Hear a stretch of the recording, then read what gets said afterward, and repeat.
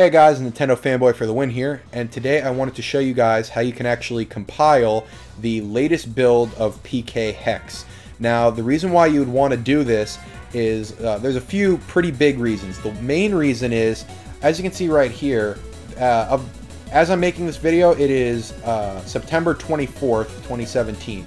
The latest uh, build that you can download normally of PKHeX is 922, so that's from two days ago already I can tell you there are about uh, at least a dozen new semi features uh, already implemented in PKHeX. Um, but besides that, tons of new um, changes to help with legality and other issues that people were having. Um, just a bunch of other stuff. Um, so obviously, you know, the creator of PKHeX, he can't, he's not going to put out a new version every every week, every day. It's you know, it just doesn't make sense. So he'll put it out every month or so, every two months. I mean, it really depends, or like on a major game release, so that type of thing.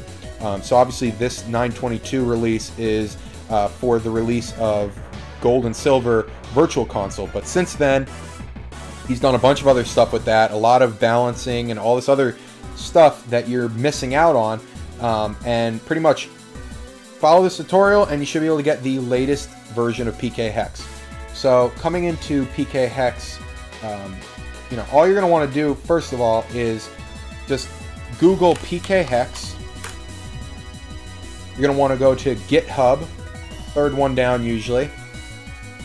And as you can see, it'll probably look like this. Um, here's the latest uh, commit, and a commit is basically like a, a change on PKHeX. So, you know, if, if, there was a legality issue or some issue that was fixed or anything was changed, you would see it here. Um, so you, as you can see, the latest commit was three hours ago, which means you don't have this obviously in your, um, you know, normal uh, build version. You're going to want to get this through the newest version here. So first you're going to want to download, press download, press download zip, and then save this right there. Then you're going to want to come to this website, visualstudio.com slash downloads. I'll leave it in the uh, leave the link in the description. Um, Visual Studio is pretty much like a, a, really good programming, you know, Microsoft's programming studio. Uh, and I'm, I don't know if, if the people that make PKHeX, I don't know if he uses it, uh, but I know the program is in Visual Studio. Uh, so basically, all you're going to want to do here, you download Visual Studio Community 2017, you click free download. Um, after, there's a one month trial, and then after the trial, you just need to sign in with a Microsoft account. Um, so once you're done signing in with the Microsoft account, uh, you'll have it for free for life. It's just they want to make sure you're signed in. So it's free for life, um, and this is pretty much all you're going to need. So download that, install that. Once you're all finished, you might need to restart your computer or anything like that.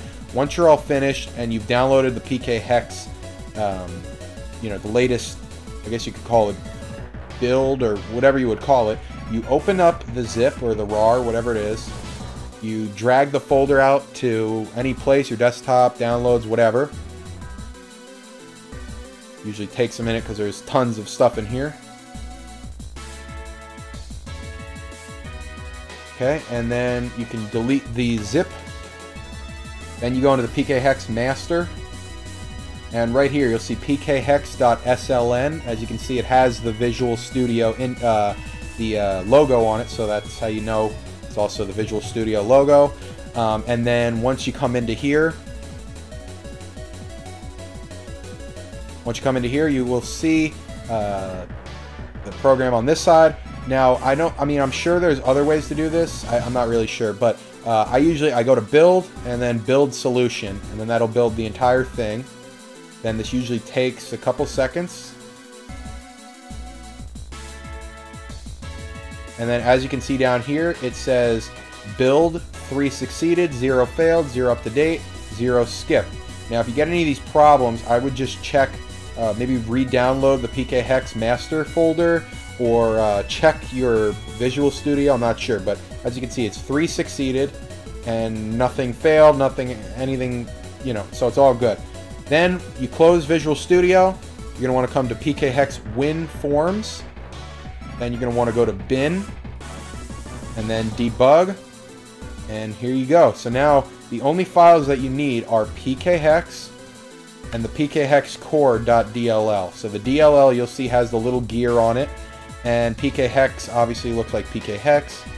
Move those to your desktop or wherever and there you go. You are updated. So now double click on pkhex and there you go. You are in the latest version of pkhex. Um, other than that, I mean, there's nothing much to it. Uh, if you have any problems, let me know in the comments. I'll try to help anyone.